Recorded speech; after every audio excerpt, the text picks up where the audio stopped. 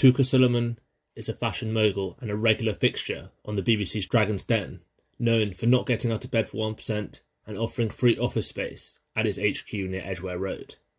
Touker was born in 1953 in Cyprus and moved to England in 1958 with his family. After leaving school, he became an accountant doing work for small businesses and started his own business supplying clothes to Britain's high streets. But the company's auditors soon realised a £2 million black hole, making the company and bankrupt. He started again with nothing, purchasing fashion company Hawes & Curtis for a pound and building revenue from £600,000 in 2001 to £30 million by 2014. He also purchased Ghost in 2008 that has given him a total net worth of £200 million. Touker has invested almost £2 million in businesses on Dragon's Den, backing Brownie businesses to shoe protection.